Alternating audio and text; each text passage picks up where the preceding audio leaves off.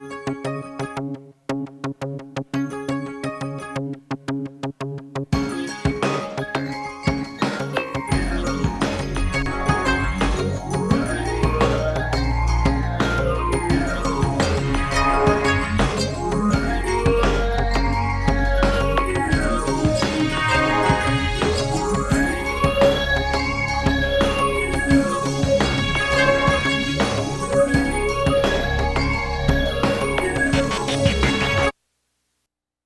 morning, Eisenhower. Live from Studio 317, we're your host Ethan along with. Dawson, teachers get your laptops ready for today's ETV quiz. Today is Thursday, October 15th, day B.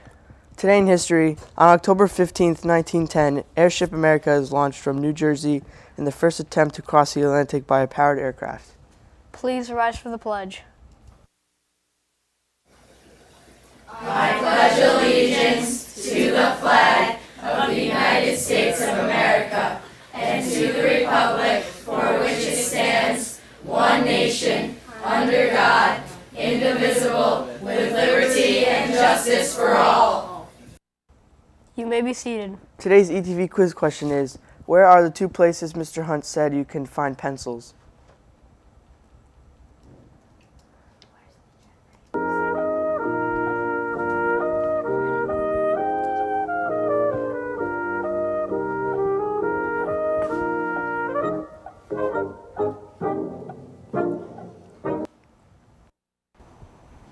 And, And now, for today's announcements with Aaron. and Ayla.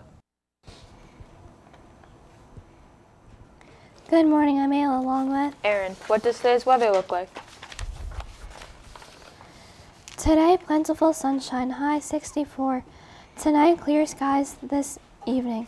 A few showers developing late, low 47. Tomorrow, partly cloudy skies, high near 65. Now, here's Aaron with today's announcements. Thank you, Ayla. It was an epic rematch of last year's boys soccer final here at Eisenhower yesterday. The boys came from behind to defeat, to defeat Riverdale 4 to 2. Liam scored the first two goals of the game. Jacob had an assist on one. Will scored an assist from Liam, and Gavin scored an assist from Alex. Shout out to Dan for running the ball and Danny for taking the stats. The boys will play Woodcliff Lake on Monday. The girls' soccer team defeated Westwood yesterday with a score of 2 to 0. Corey had an amazing header into, into the goal net off of so- Sophia's perfectly placed corner kick. This definitely was one of the best plays of the season. Corey then placed a different a direct kick to Allie who assisted Callie who scored the girls' second goal. Callie played fierce the entire game, keeping up the pressure, keeping the pressure on the Westwood's midfielders and forwards. The girls really worked as one unit and everyone played tough. The Wyckoff Library will be hosting a teen coffee house today from 6 to 8 in, in the Monroe Room. Contact Barbara, the teen librarian, and let her know you will be attending or register online in the, library calendar. The coffee house is a casual gathering where you can hang with friends, play music, recite poetry, tell jokes, and just have a good time. Yes, coffee will be available, but there will be other beverages and great snacks too. See you there. Today is the last day to buy your breast cancer awareness items. All items are available for $1. Tomorrow is our pink out. Please show your support by wearing pink. Here's Ayla with the rest of the day's announcements. Thank you, Aaron. It's here. The winter play is finally here. Auditions for this year's winter play will be Tuesday, October 20th and Thursday, October 22nd at 3 p.m. in the multipurpose room. We are looking for actors, stage crew, art crew, and anyone else who would like to be part of the fun. The winter play is open to all UMS students. Come on, come all.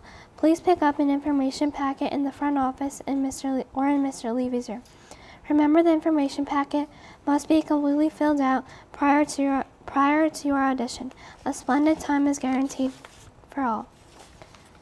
Are you curious about the world, fascinated by faraway places like Tahiti or Timbuktu?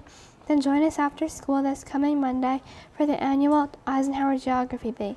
This fun contest is open to students in all three grades. Please see your social studies teacher for details and a permission slip.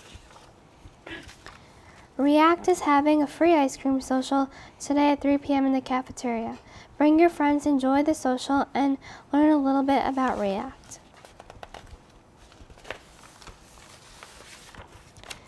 There will be a Model UN Club meeting in room 307 today after school. If you would like to join and did not attend the interest meeting, you are still welcome. Attention student council members. Please return your cookie order to Ms. Parada ASAP, room 508. Thank you.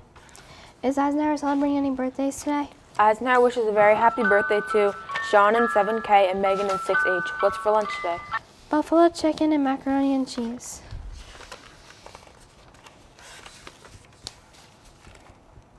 What's tomorrow's lunch? Tomorrow's lunch is Pizza Parlor Pizza. What's on the headlines? The United States will halt its military withdrawal from Afghanistan and instead keep thousands of troops in the country through the end of 2017. And now, for today's feature with Eden. And Urata.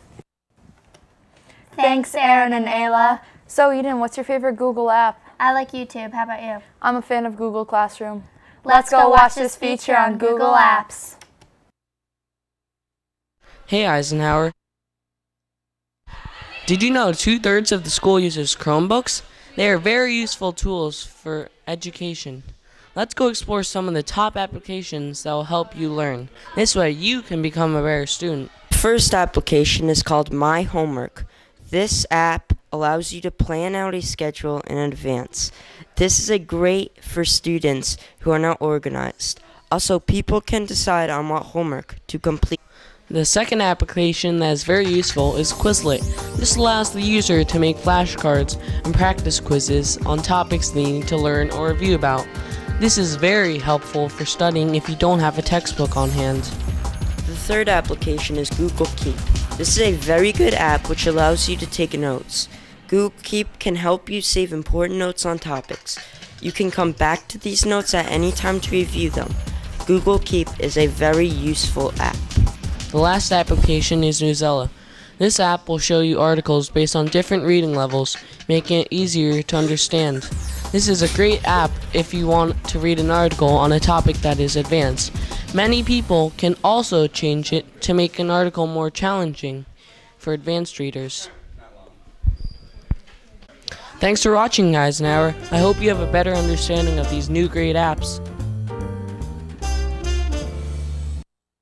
Looks like Eisenhower likes using Google Apps.